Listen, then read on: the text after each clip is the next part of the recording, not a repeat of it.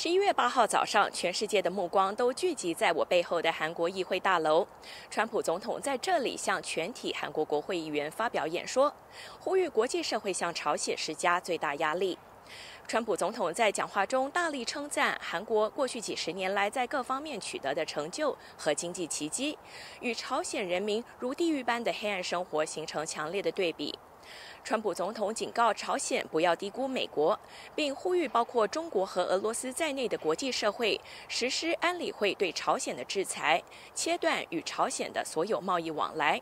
他的讲话中赢得多次掌声。讲话结束之后，全体韩国议会议员起立鼓掌。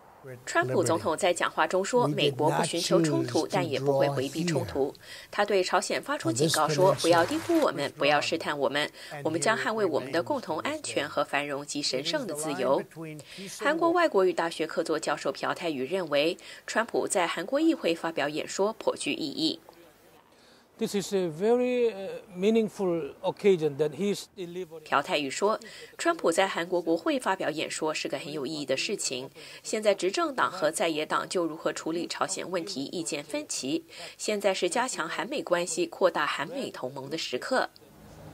在首尔火车站里，一些等车的市民正在观看川普讲话。首尔市民金先生认为，川普清楚表明美韩关系的坚强十分重要。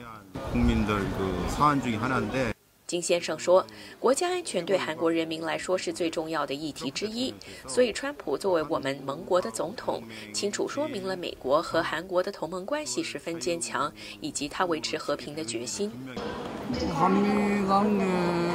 首尔市民林先生说：“就算我们孤立朝鲜，朝鲜还是会继续发展核武器。看起来，川普总统不担心战争的爆发，但大部分韩国人热爱和平，所以我希望他能用更正面的方式来说服朝鲜。”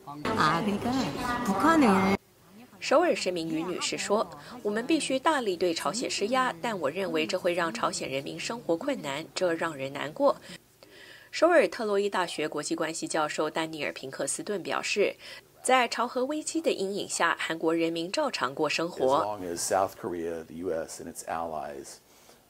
平克斯顿说：“只要韩国、美国和其他盟国做足够的准备，购买适当的武器设备、适当的防御系统、适当的监视情报设备，美韩进行适当的军事演习，这些都是我们可以做到的遏阻朝鲜的方式。